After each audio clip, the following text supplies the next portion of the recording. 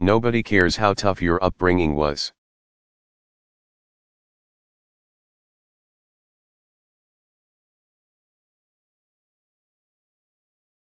Nobody cares if you suffered some discrimination.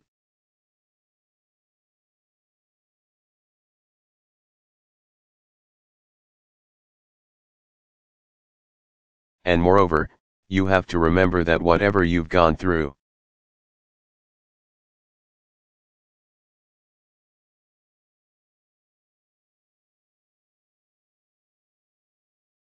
It pales in comparison to the hardships previous generations endured and they overcame them.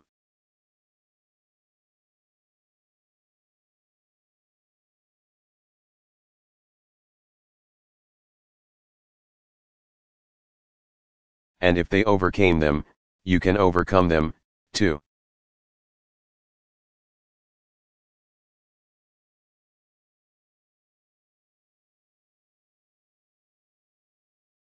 You now hail from a lineage and legacy of immeasurably strong men men who bore.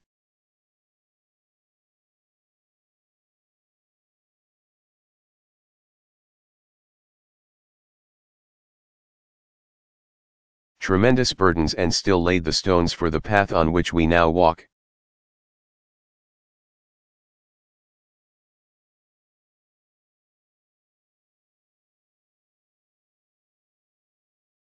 You wear the mantle of Frederick Douglass and Booker T.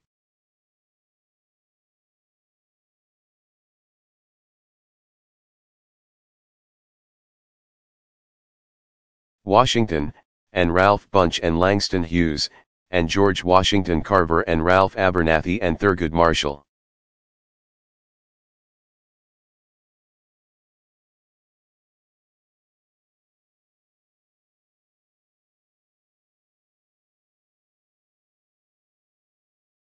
And, yes, Dr. Martin Luther King, Jr. These men were many things to many people.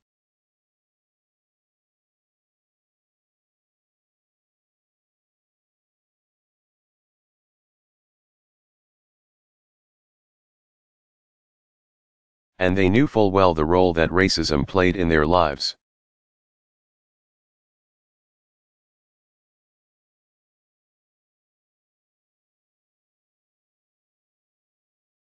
But when it came to their own accomplishments and sense of purpose, they had no time for excuses.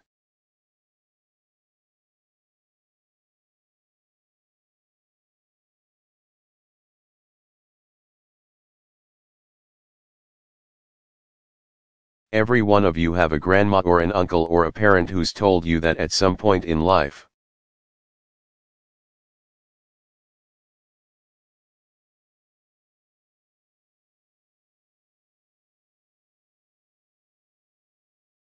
As an African American, you have to work twice as hard as anyone else if you want to get by.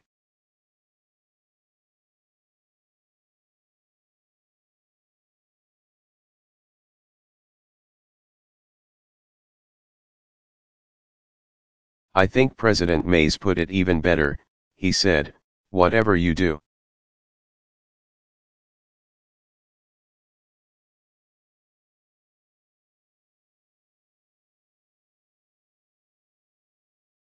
Strive to do it so well that no man living and no man dead, and no man yet to be born can do it any better.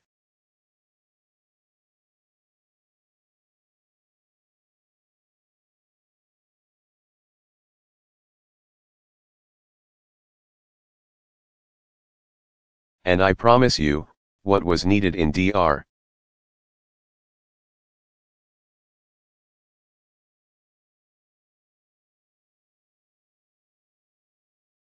Mays's time, that spirit of excellence, and hard work.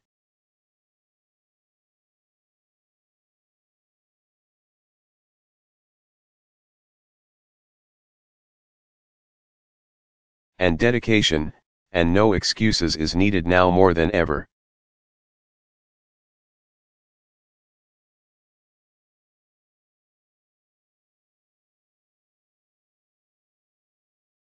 if you think you can just get over in this economy just because you have a Morehouse degree.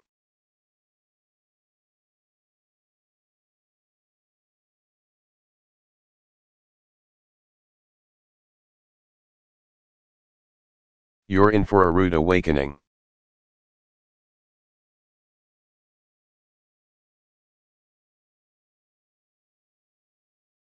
But if you stay hungry, if you keep hustling,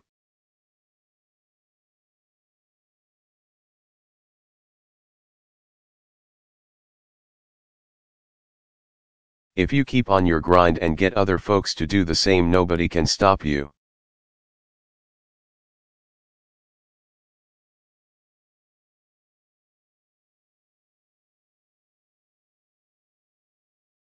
And when I talk about pursuing excellence and setting an example,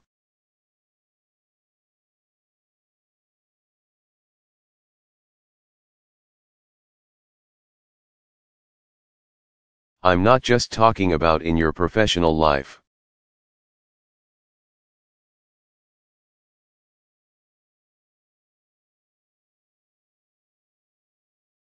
One of today's graduates, Frederick Anderson where's Frederick? Frederick.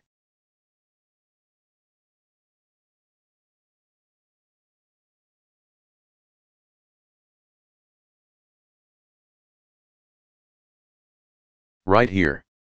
I know it's raining, but I'm going to tell about Frederick.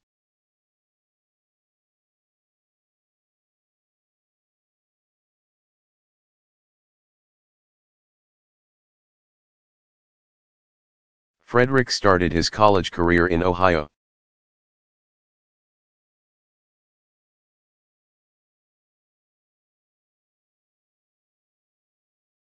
Only to find out that his high school sweetheart back in Georgia was pregnant.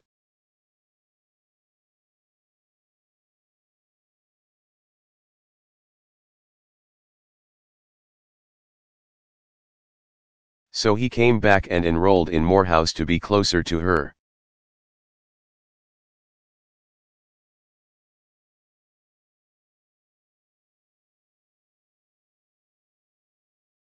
Pretty soon, helping raise a newborn and working night shifts became too much.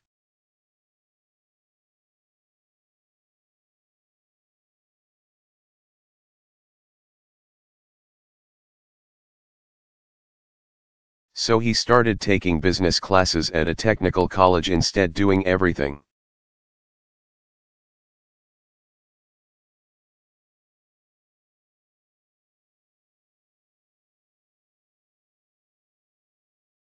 From delivering newspapers to buffing hospital floors to support his family.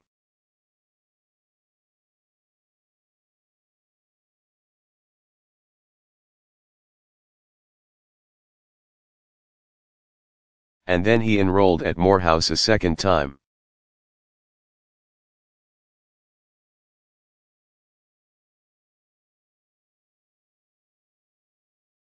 But even with a job, he couldn't keep up with the cost of tuition.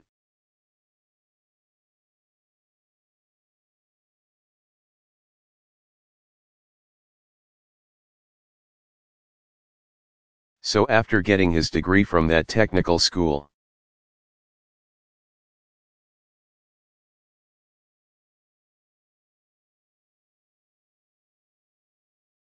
This father of three decided to come back to Morehouse for a third time.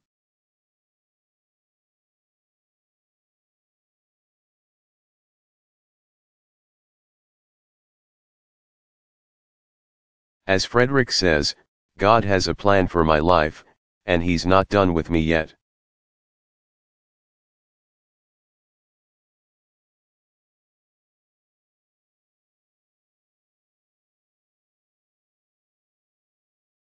And today, Frederick is a family man, and a working man, and a Morehouse man.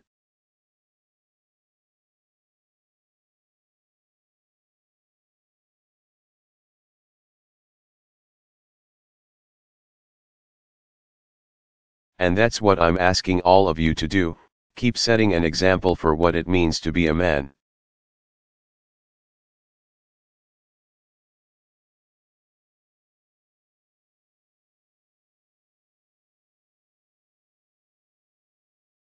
Be the best husband to your wife, or you're your boyfriend, or your partner.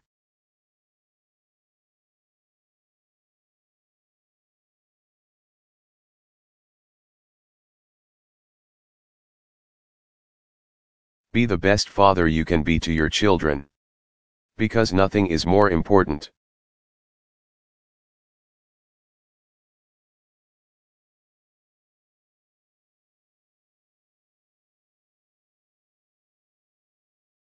I was raised by a heroic single mom, wonderful grandparents made incredible sacrifices for me.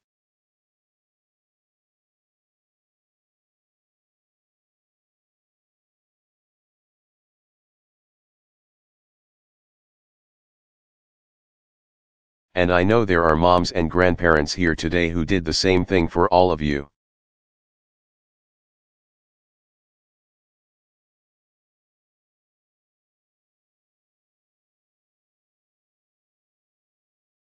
But I sure wish I had had a father who was not only present, but involved. Didn't know my dad. And so my whole life.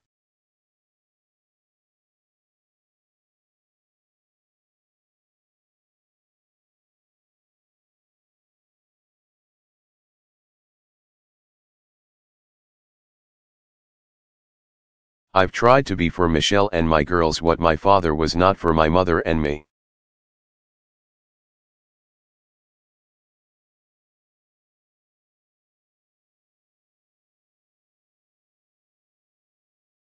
I want to break that cycle where a father is not at home.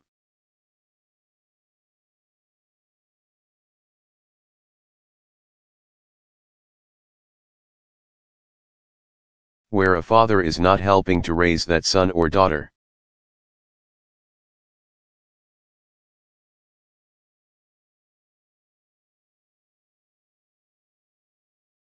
I want to be a better father, a better husband, a better man.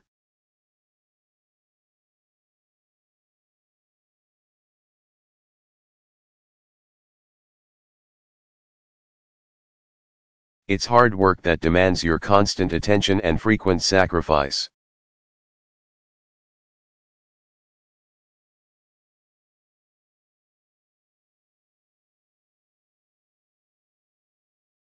And I promise you, Michelle will tell you I'm not perfect.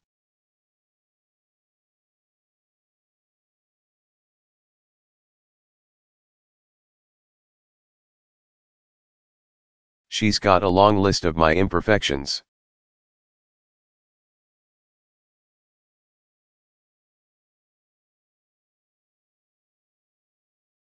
Even now, I'm still practicing, I'm still learning.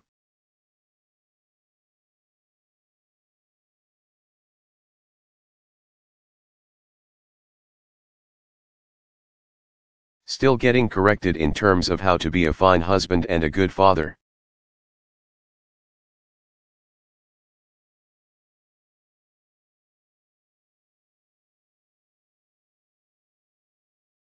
But I will tell you this, everything else is unfulfilled if we fail at family, if we fail at that responsibility.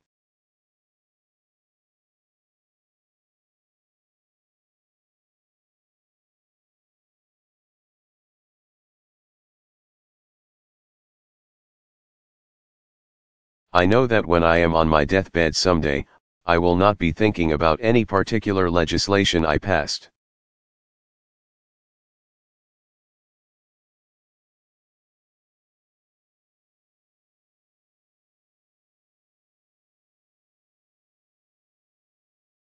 I will not be thinking about a policy I promoted.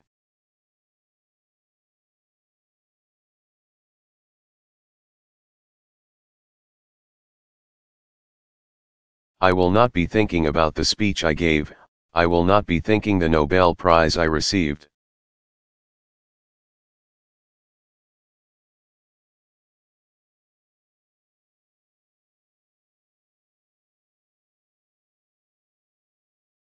I will be thinking about that walk I took with my daughters.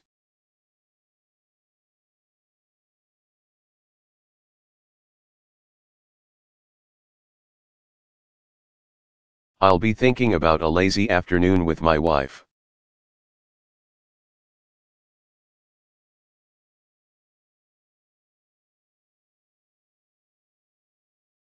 I'll be thinking about sitting around the dinner table and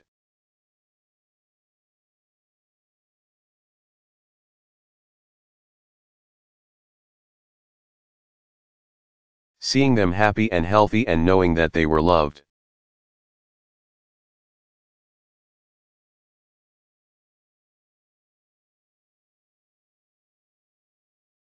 And I'll be thinking about whether I did right by all of them.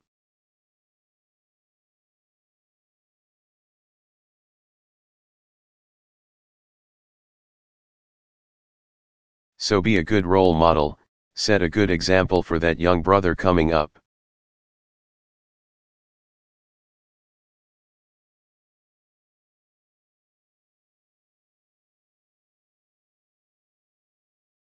If you know somebody who's not on point, go back and bring that brother along those who've been left behind.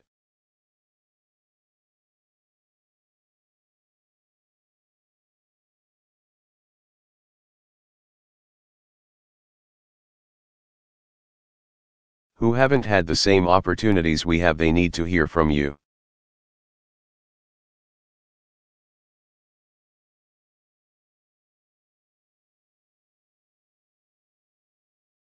You've got to be engaged on the barber shops, on the basketball court, at church.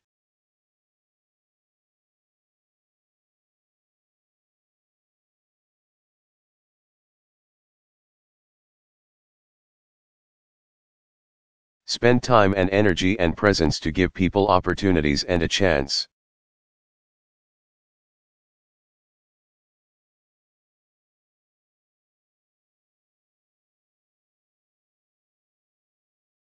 Pull them up, expose them, support their dreams. Don't put them down.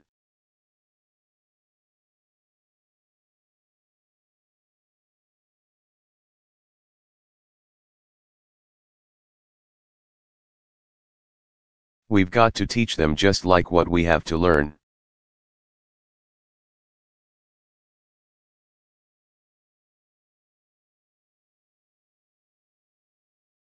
What it means to be a man to serve your city like Maynard Jackson, to shape the culture like Spike Lee, to be like Chester Davenport.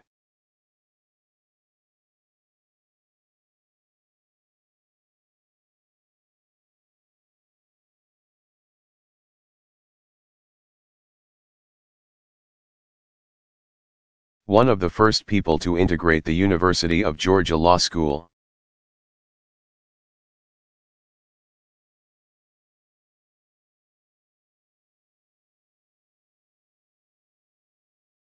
When he got there, nobody would sit next to him in class.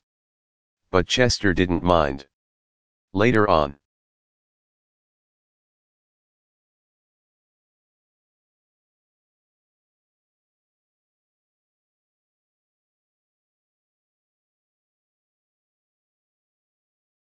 He said, it was the thing for me to do.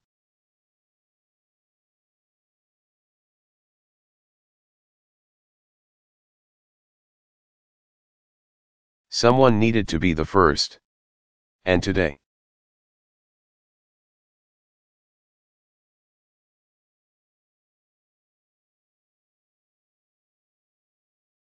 Chester is here celebrating his 50th reunion. Where is Chester Davenport? He's here.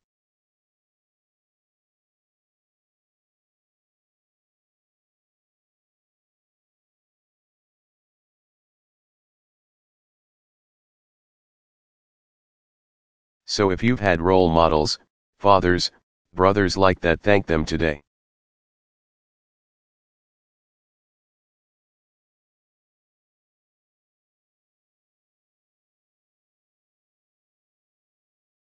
And if you haven't, commit yourself to being that man to somebody else.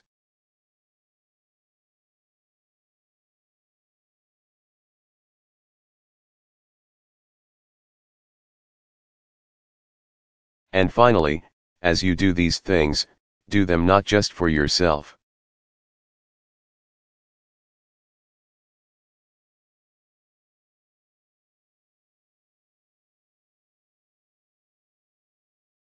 But don't even do them just for the African American community.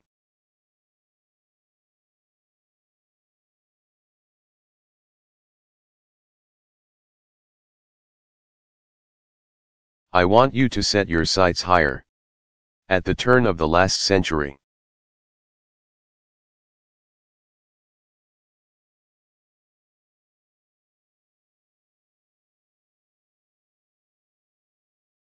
W. E. B. Du Bois spoke about the talented 10th a class of highly educated, socially conscious leaders in the black community.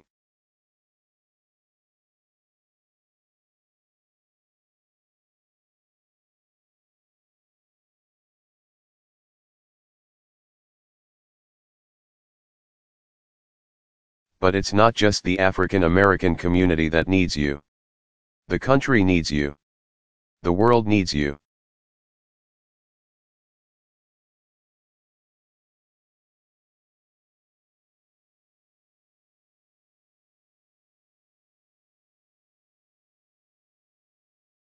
As Morehouse men, many of you know what it's like to be an outsider.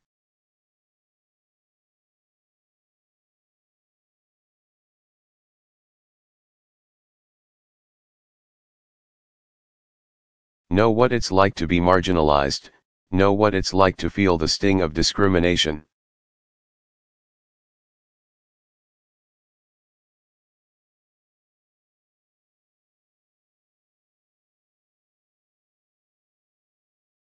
And that's an experience that a lot of Americans share.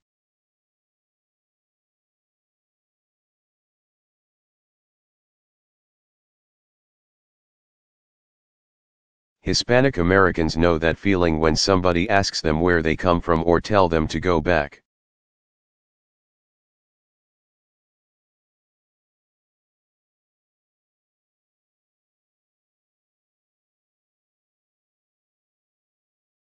Gay and lesbian Americans feel it when a stranger passes.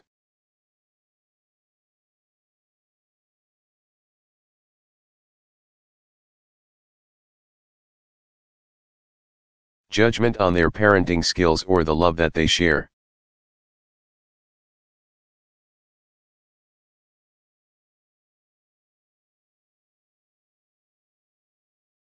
Muslim Americans feel it when they're stared at with suspicion because of their faith.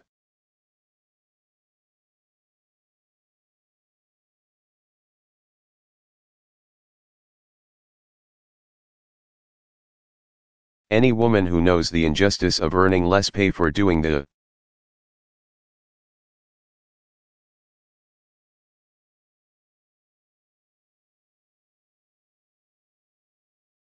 same work she knows what it's like to be on the outside looking in.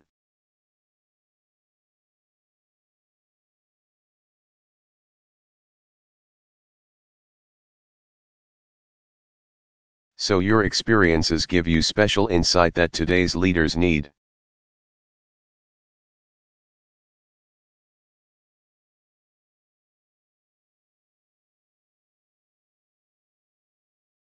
If you tap into that experience, it should endow you with empathy the understanding.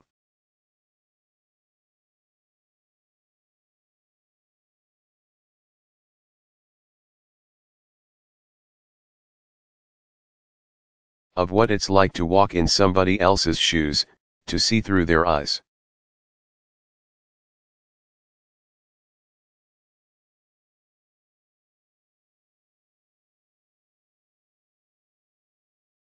To know what it's like when you're not born on third base, thinking you hit a triple.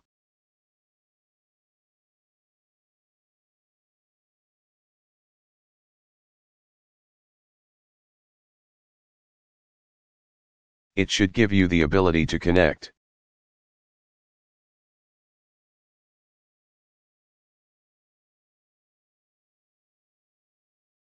It should give you a sense of compassion and what it means to overcome barriers.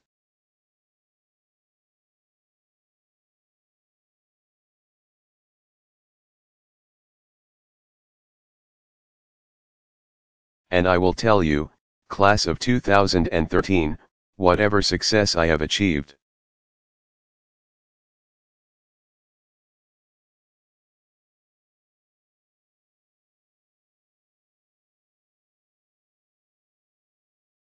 Whatever positions of leadership I have held have depended less on Ivy League degrees or SAT scores or GPAs.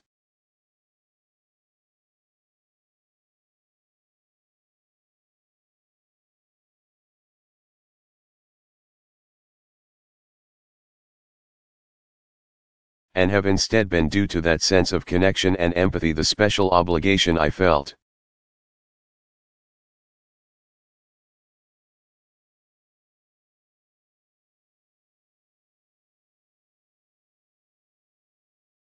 As a black man like you, to help those who need it most, people who didn't have the opportunities that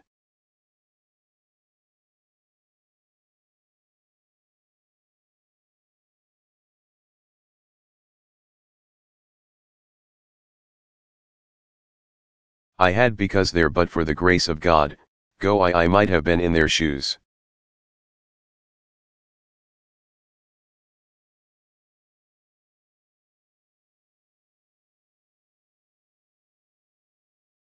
I might have been in prison. I might have been unemployed. I might.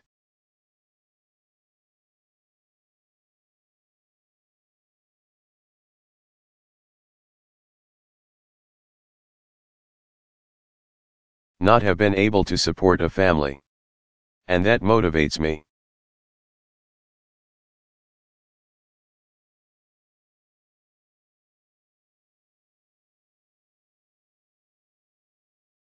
So it's up to you to widen your circle of concern to care about justice for everybody, white, black and brown.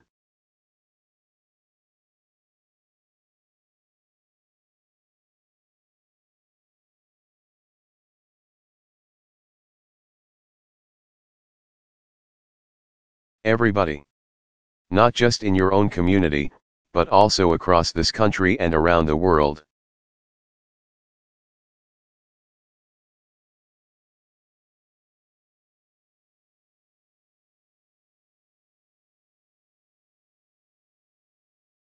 To make sure everyone has a voice, and everybody gets a seat at the table, that everybody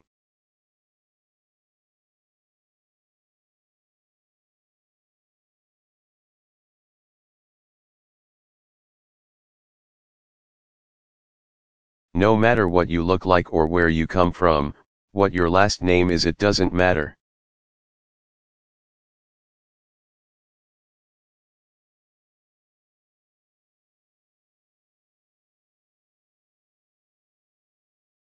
Everybody gets a chance to walk through those doors of opportunity if they are willing to work hard enough.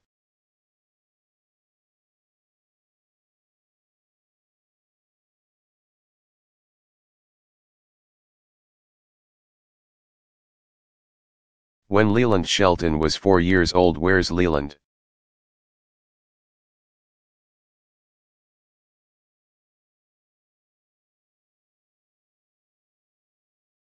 Stand up, Leland. When Leland Shelton was four years old.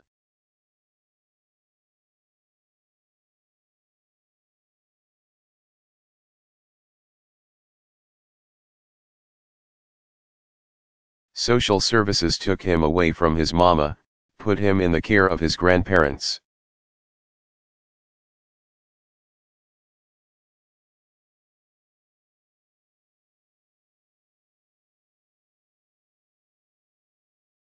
By age 14, he was in the foster care system,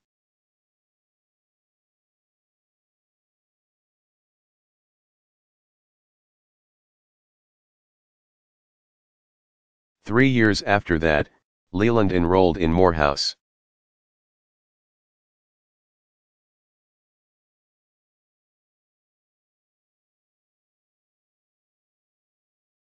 And today he is graduating Phi Beta Kappa on his way to Harvard Law School. But he's not.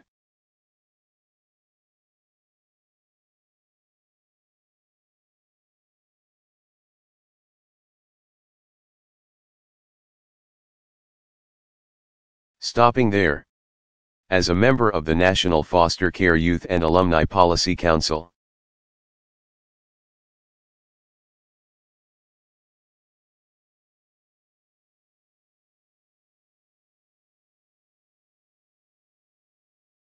He plans to use his law degree to make sure kids like him don't fall through the cracks.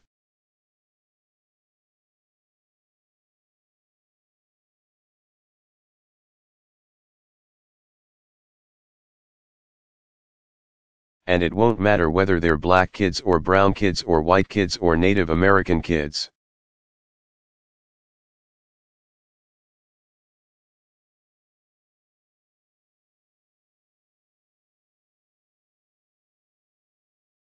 Because he'll understand what they're going through.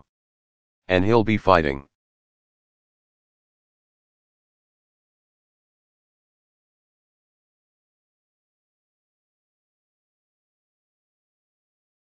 For them. He'll be in their corner. That's leadership. That's a Morehouse man right there.